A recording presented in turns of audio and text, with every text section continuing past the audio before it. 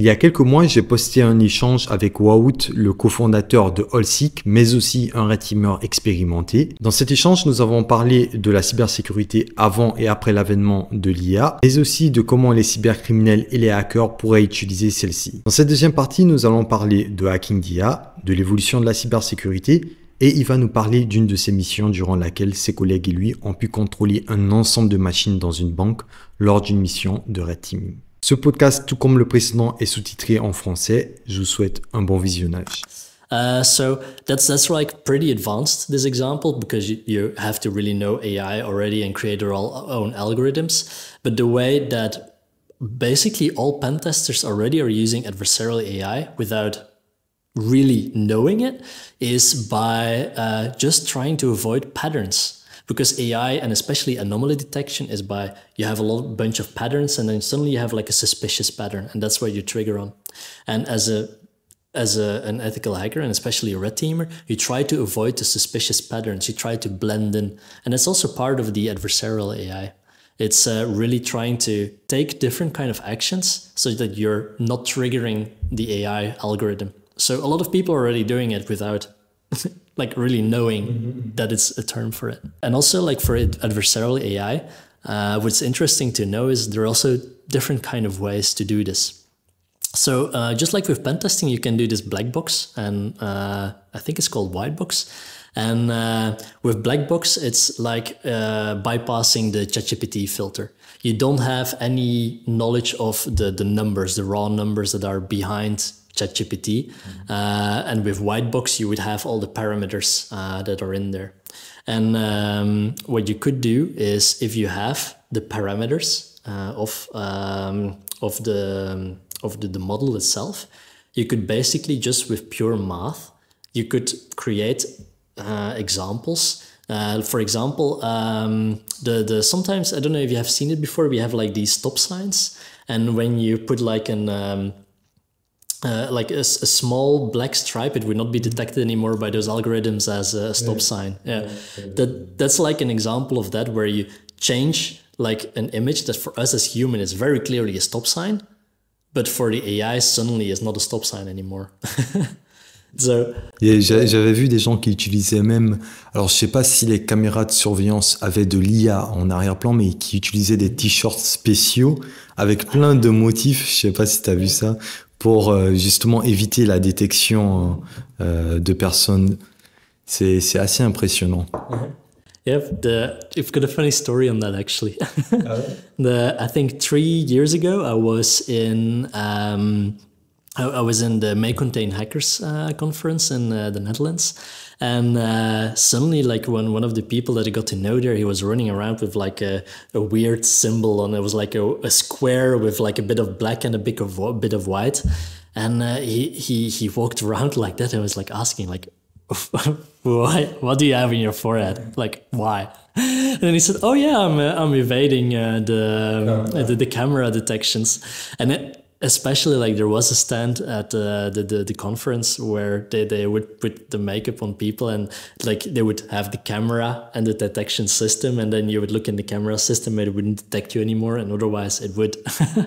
So yeah that's all part of like the adversarial ai and it's something that i find like very interesting. It's also something that like if we look more at like the the technical side of it um it's for example, if uh, the detection algorithms were like this is uh, malware or this is not malware, it's also patterns, right? Mm-hmm. Um, there is some initial research within the field where they try to train a model that would add random text to the malware um, so that like with the random text, even though the functionality is exactly the same, but the random text would make it like jump to the other side. So it wouldn't detect, be detected as malware anymore, but it would be uh, detected as benign because just of adding some random text. Yeah. And, uh, there's also some initial research, but uh, yeah, from it, it, from what I've been seeing, it's only like one company, uh, Atlas Digital, I think they're called, uh, that has been like doing some research on this and uh, has pushed this. but I haven't heard a lot of recent news on this, so I guess it got a bit in yeah and it could be shelved. yeah. but the, the idea behind it was also very interesting. So they had like a whole system of um, of, uh, of, of uh, they had a whole network of different computers, and each computer had their own uh, EDR on it. So like one with Sentinel One, one with uh, Microsoft Defender, uh, and also different operating systems. And then they had a malware sample. And what they would do is they would train a model and they would give the malware sample, and the model would be just adding random stuff to, to, to the malware sample. And uh, then it would send it to the different systems and see if it was detected or not. Mm-hmm. And the model would be like uh, reinf- through reinforcement learning, would then learn okay, this was a good adjustment because it, it evaded these two, but uh, this was a bad adjustment because now it's get detected by all of them. And this way it would uh, like reinforce uh, itself and know okay, I can add this, and this way I, I would be able to bypass these. Um, so I definitely think that's gonna come, but for some reason it hasn't gotten that push yet of okay now everybody mm, uh, is using it as part of the daily activity. Parce que je pense c'est parce que c'est venu très très vite aussi. Hein. C'est que comparé à toutes les autres technologies, ça prenait quand même quelques années avant qu'on les ait. Et là, tout d'un coup, en une deux années, boum, il y a une explosion de l'IA.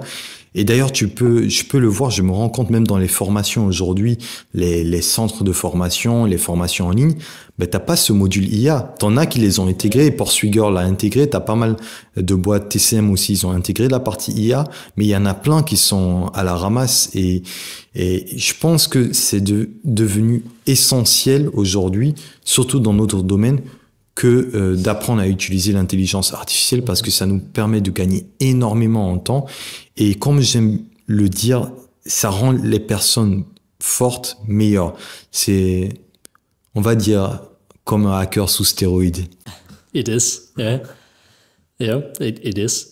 It's like a, a, bit the concept in the developer world. It's often talked about that AI nowadays mm-hmm. makes like a regular developer a 10x developer. Mm-hmm. Uh, it's like a, yeah, maybe you do, yeah. I don't know if you have you ever heard this before, but like the 10x developer is like the holy grail of what a company is looking for in the developers. Like that one developer that does 10 times the amount of work just because he's so good.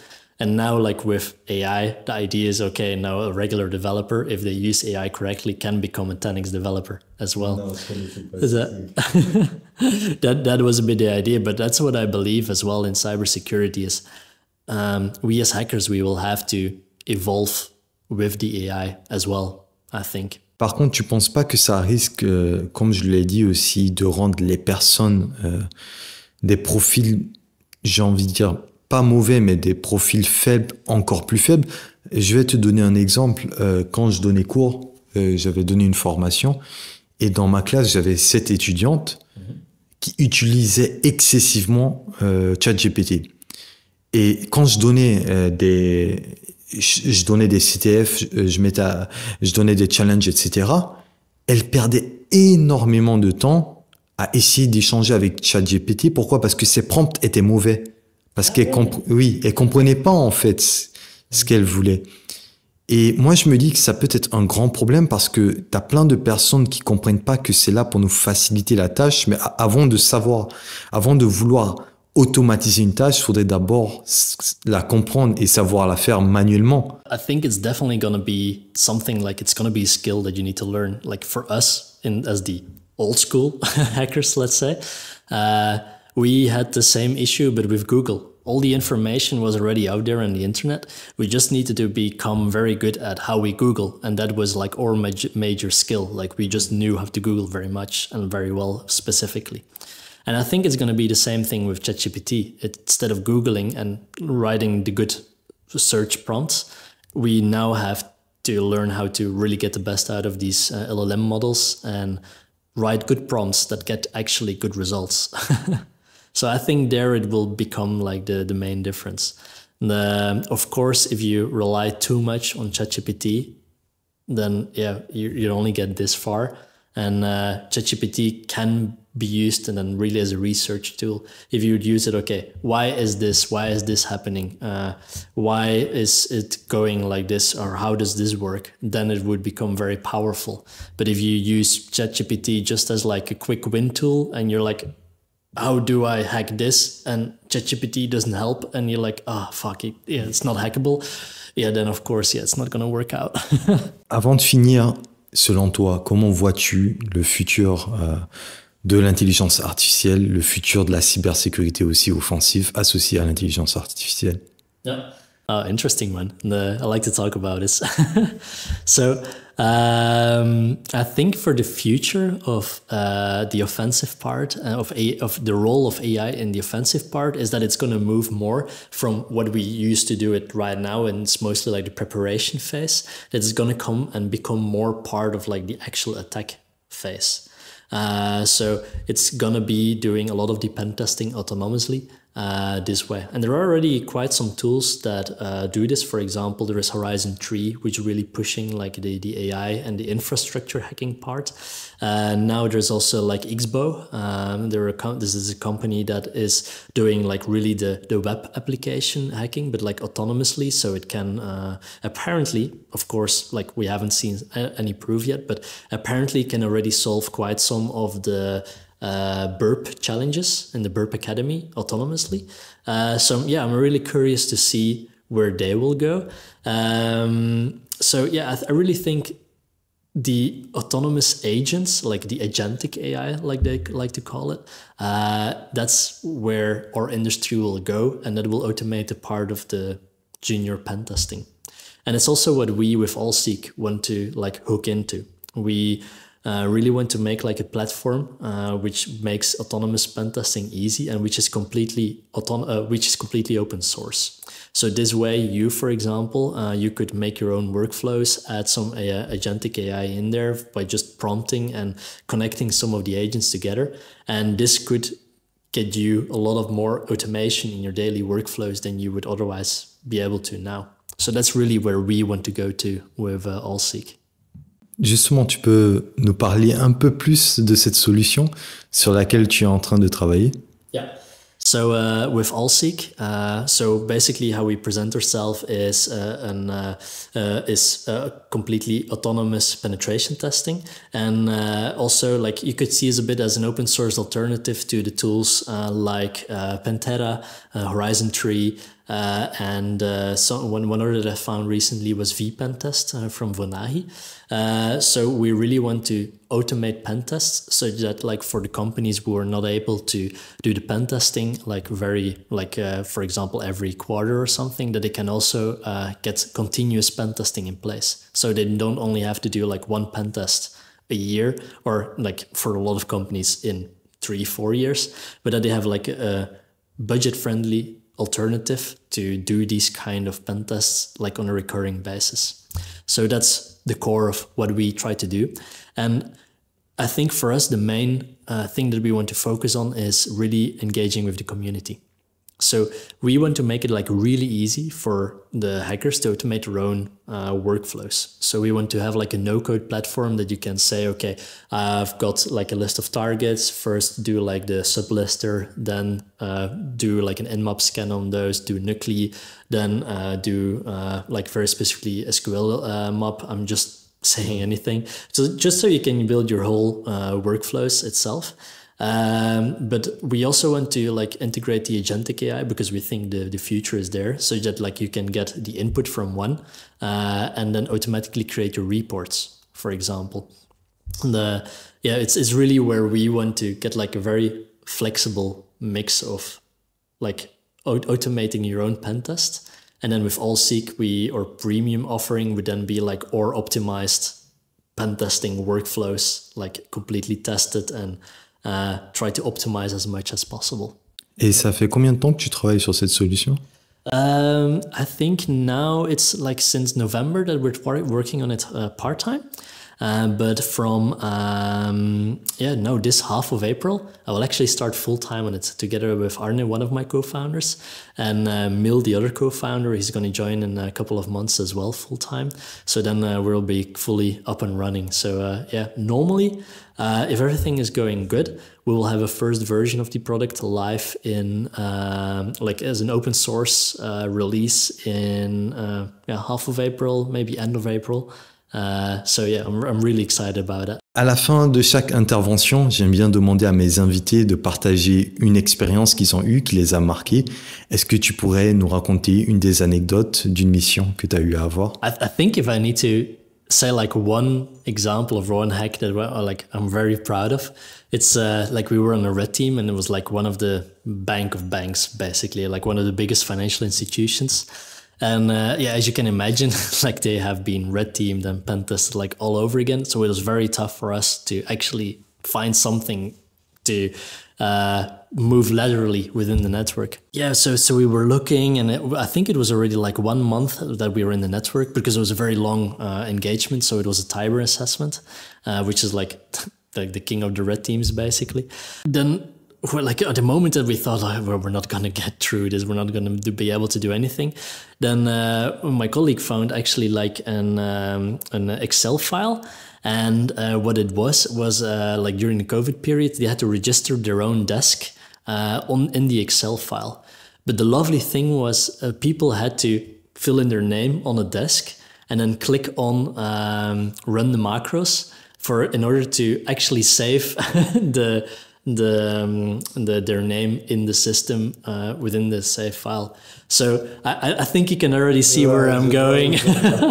so what we did is uh, we uh, put our malware just behind the like the VBA script. We put it behind the the the, the file uh, behind the code of the file itself and uh, yeah, every single day, so many people were clicking on the on the reserved desk. It was raining in beacons. At a certain point, like we were not prepared for so many beacons. At a certain point, we were just managing beacons more than we than we were managing. They were actually pen testing or like red teaming, and. Uh, yeah, like we got in so many beacons, and then once we saw an, an interesting one come in, like a vice president of whatever, uh, then we would install uh, our uh, persistence on that system. And otherwise, yeah, then just uh, let the, the, beacons come in. Uh, but yeah, we were very afraid that at a certain point we would get detected just because of the amount of traffic coming to us. Yeah, then uh, we, we, we automated some part of it and then most of the beacons were closed automatically. So this way, like, it was fine.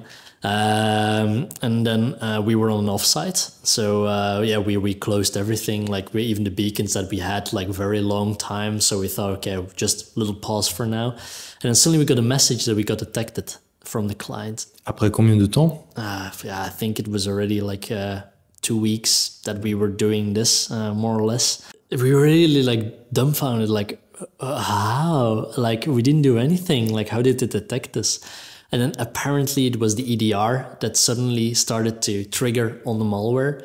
And because it was malware that was triggered from WAL file, it was the same malware basically on the, the different uh, desktops. So they immediately removed all the, the malware from each desktop. And it was just because the EDR, for some reason, just started to detect it. so yeah, that was for us a really bummer because we're doing so good, especially in an environment that was so tough.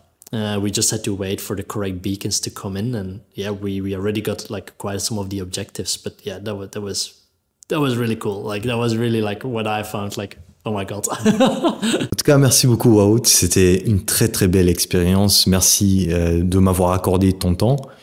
Euh, avant de nous quitter, est-ce que tu as des, tes réseaux euh, que tu pourrais partager avec la communauté ou est-ce qu'ils pourraient te suivre? Est-ce que tu as des projets que tu souhaiterais partager? Uh, So right now, I would say I'm very inactive on social media, uh, but with the launch of uh, AllSeek, that will uh, continue. So I think the, the place where I will be most active will be LinkedIn. Uh, so you can follow me there and I will yeah, see if I will do more on Twitter, uh, X but I'm not sure about it yet. Uh, but definitely follow me on LinkedIn if you want to.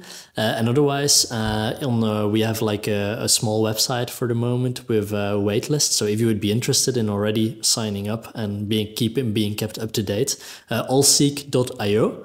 Uh, and then you can sign up there, and then you will get all the updates from us uh, as we are growing and uh, getting, but getting our first steps in the world.